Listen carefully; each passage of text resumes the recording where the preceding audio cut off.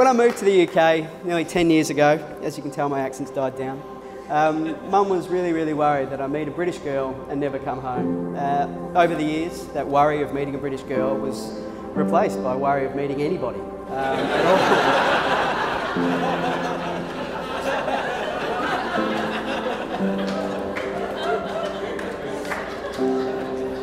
Not to say that Jane's anybody. But obviously, as soon as I met Jane and as my parents met Jane, they knew how special she was, and I was immediately hooked. Um, some of you know the story about how Jane and I got together, which is fantastic because we can't remember a thing.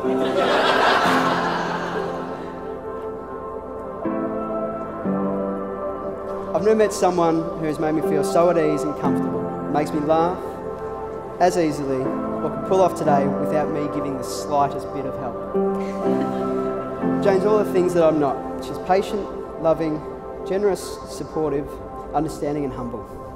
So, Jane, I do love you, and whilst I'm standing and glasses in hand, I'd like to raise a toast to our lives together. I'm sure that we'll have many times onwards where we laugh, love, and share it all together. To you.